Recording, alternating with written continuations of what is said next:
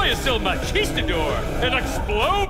Good evening, Night City. Our special guest tonight is a biologist and professor at NCU. Oliver.